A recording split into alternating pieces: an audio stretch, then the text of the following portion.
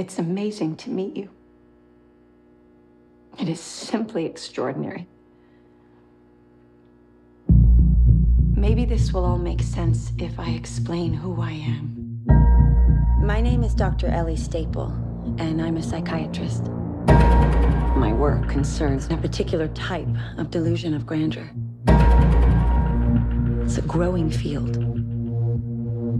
I specialize in those individuals who believe they are superheroes.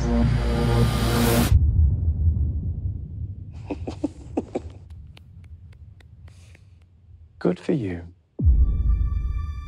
The three of you've convinced yourselves you have extraordinary gifts like something out of a comic book. David Dunn, the only person to survive that train wreck all those years ago.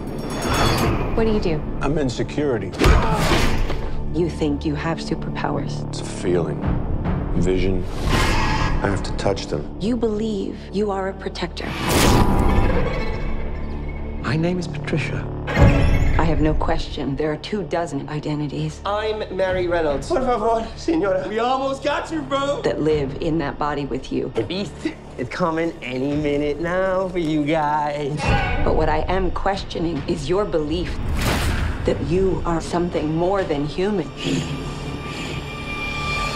And yet, it is true. My bones break easily. I've had 94 breaks in my life. But you have an extraordinary IQ.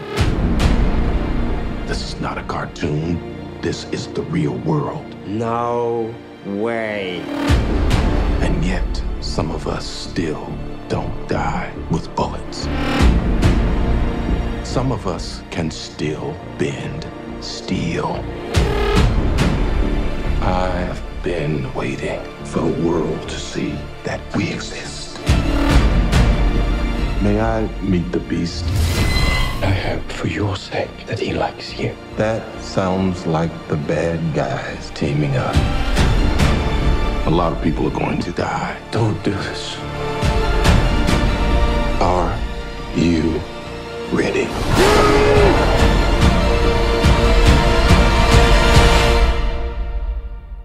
What do we call you, sir?